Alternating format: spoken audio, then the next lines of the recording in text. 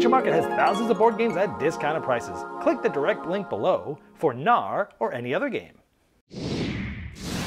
Hello my friends, it's the Game Boy Geek here. Today we are sending our Vikings. First we're recruiting them and then we're going to send them out onto the ships to different destinations. Today we're taking a look at Knarr. This is brought to us in North America by Pandasaurus Games. It's a, it's a sort of an engine building game, Splendor-ish. Let me show you how it's played. I'll see you on the other side.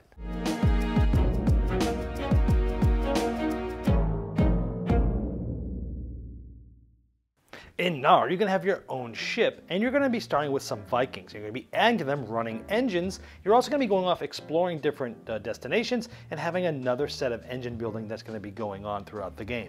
Now you're trying to get points over the course of the game, and once someone gets 40, whoever has the most at the end of that round will win. There's also ways, because at the beginning of your turn, you're to be going up uh, this, this reputation track over the course of the game, and at the beginning of your turn, like in this case, you'd get two points. And that's to happen at the beginning of every turn, so this is sort of like an income uh, of points that you can get if you work on this track over the course of the game. So the first thing you do on your turn is you get income uh, or points if you're up on the reputation. Then you've got a couple of choices.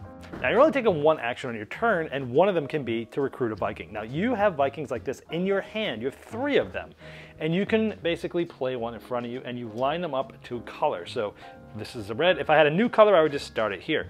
Then you get everything on that card and everything above it. So this is gonna get me a point because that's the, the symbol for points. And this is going to get me a bracelet.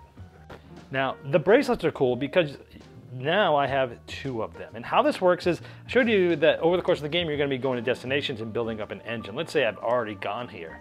Now, if you spend one bracelet, you get everything in the left column. Two bracelets, everything in the first and second column. If you have three bracelets and you spend all three, you get to, to do everything in all of these columns, which is cool. At the beginning of the game, you don't have this. So I could just spend a bracelet to get a point. Or I could have spent all three to get a point and a bracelet, but I don't have three, I have two. Now, you can do this before or after your action. So if I wanted to, I could spend this bracelet, come down here, activate everything in this column, which will give me another point. So I just made two points my first turn. Now keep in mind, I played a red Viking, and also keep in mind, I have one of these recruit tokens. You can have up to three. And recruit tokens are gotten in many of the same ways. Like if I had played this one, I would have gotten a recruit token and a bracelet instead of the point and the bracelet. But I played a red Viking, so by default, this is the card I need to take into my hand which means I can play this one later, which isn't bad because I already have a blue Viking. I can start working that engine. But it's very interesting that you're playing a card to try to get a card that's under that. So sometimes you're playing it to really get the card you want. However, I mentioned these recruit tokens. One of the ways to use these is to spend it to then you could take any one of these Vikings, not the one that's under the color that you just played. This little twist is simple, but it's really interesting. Now on your turn, instead of uh, recruiting a Viking, you can uh, explore a destination. And what do you know? This one needed two red Vikings. Now remember, this one was sort of an engine. If I had added a third red here, I would have gotten a bracelet, a point, and whatever that other thing has. So you can keep milking an engine to be more efficient that way. But eventually you're going to need to figure out the right time to take these cards and go to discard pile. I need to spend two of these here. Now it's going to get me a bracelet, but again, now I have this. So now if I had two, bra two bracelets to spend, I could get one, two, three points. I'm starting to build that engine of points there uh, with that, uh, you know, my destination cards. Now another way to use these, is if I had one of these, I could have I could have sent one of the red Vikings and spent this to be another one. Now you always have to give one card, but that gives you another flexibility of spending or you know sending Vikings off. Now there are two rows of this. This is row A and row B. These ones are easier to get. The costs are less, but like in this one, this is reputation. That's again how you move up the reputation track on the board. Which again, if you get up to any of these other numbers, uh, you'll be getting a certain amount of points once you get there at the beginning of every turn, which can be very powerful. But once you're able to afford these ones, like three yellows and two greens, or four of the same, you get points. Look, it's five points, five points, nine points. So these ones sort of help you with goods and maybe some engine building of points every time you trigger them, but these ones give you the big points when you get together. That's pretty much the whole game. Pick one of those two actions, keep doing it until someone gets 40 or more. The one who has the most at the end is the winner. And lastly, there's these artifact cards. There's a, you know, a handful of them, and you can play with one of these. It just gives you one other thing to do during the game. Like, for example, this one, uh, if you explore, you can basically take any one of the Vikings that's there available and discard it and replace it. So kind of stopping someone else from getting them. Here's if you have, you know, one of each Viking in front of you, you get these goods. So it's, you know, a little twist and a little more layer of depth there.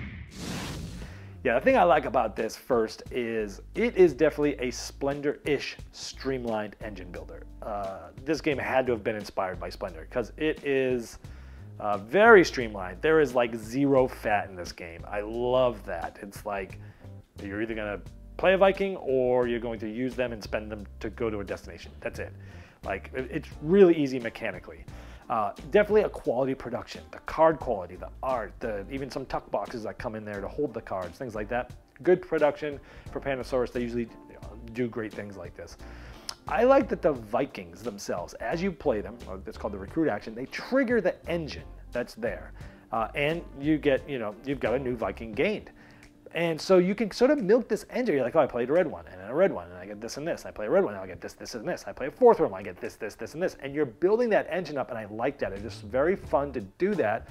But at some point, you got to figure out when to send the Vikings to explore uh, and and reduce your engine. So it's like you're building it up. It's almost like in deck builders where you're like, hey, I'm gonna build and, and build up all this money, but then at some point I need to turn my deck into making points. Same thing here. You're like you're running this engine, you're running this engine, you love getting everything this engine's producing you, but it might not be producing you big points from the destination. So it's like at some point you have to sort of cut off your hand there that's you know giving you all this stuff and send them out to, to, to do it. And I think that's really interesting. It's, it's a tough decision to know when to cut over and say, okay, I'm done milking this engine. I'm going to have to now set these, send these things out, right? It's, it's a really interesting sort of timing, if you will.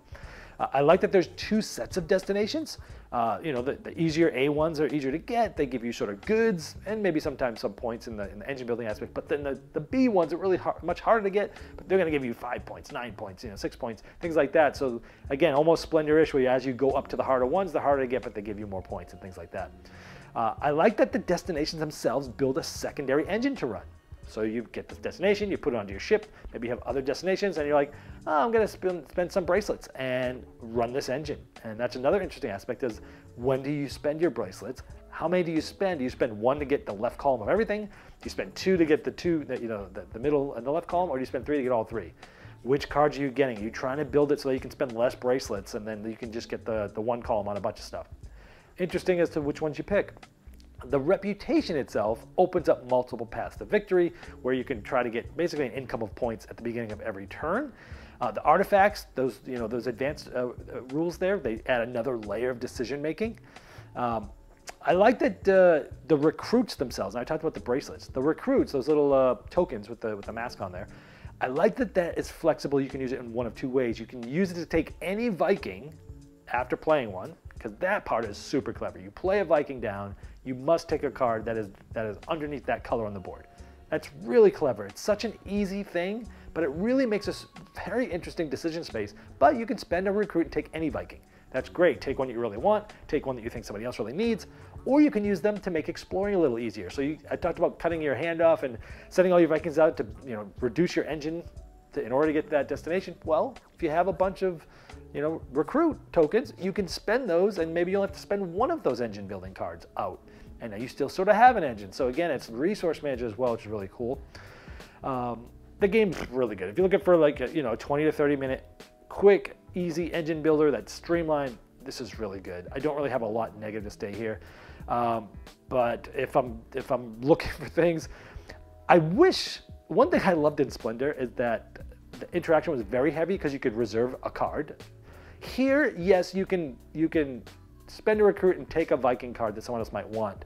But that's not as bad as like taking a destination card they want, which is the equivalent of taking one of the cards in Splendor. I wish there was a way that you could maybe spend a recruit and a bracelet and reserve a destination card, uh, and just make it just make it have a little bit more teeth. There is interaction there of getting the things first, like the destination cards, and you know getting Viking for other players. But I wish it would have had maybe a little bit more teeth with the interaction there. That's just my personal preference that I like games to be like that. The Viking art is great in the game, but if you have the same card, it has the same art. I mean, if you have a yellow card that gets a bracelet, there's multiples of those. Both of those have the same Viking on there. I realize that from a cost perspective, it wouldn't be economically feasible to get all this custom art and have every card have unique art. It's just not economically feasible for a small box game like this. So I get why they did it, but if I'm wishing here, I'd like to see even more of this great art. Uh, the last thing is, you know, I have not played this. I've played it a handful of times. I haven't played it anywhere near how many times it was play tested. Getting reputation early might, might, might, a big might, might be overpowered here. Where, like, again, I haven't seen all the, all the permutations of this play out, but it seems like getting early reputation can really help you. Maybe you can just disregard reputation if someone else is going heavy and you can still win. I haven't quite seen that yet. It seems like you have to get some reputation. But again, I, have only played a handful of times, so I'm just trying to say things that, that, that might be issues, but not really. Maybe the reputation might be overpowered. But again, overall, this is a fantastic game. Uh, if you're looking for that quick engine builder that feels Splendor-ish, but maybe is a little nicer, uh, with a with a you know really cool Viking theme, you got to check out Knarr. It's been the Game Boy Geek, breaking down barriers, growing relationships with board games, and helping you on the next one you love. Game Toppers upgrades every game you play, and if you missed their 4.0 Kickstarter, you can still late pledge and take advantage of over 40 unlocked stretch goals and early fulfillment. This campaign featured a new Young Sherlock table, perfect for children's gaming, and movable coffee table, 10 new thematic mats by top artists like Vincent Dutrait, a new designer art series Minecraft topper with thematic art from Brent Woodside, and some of the best package deals they've had, including game mat bundles.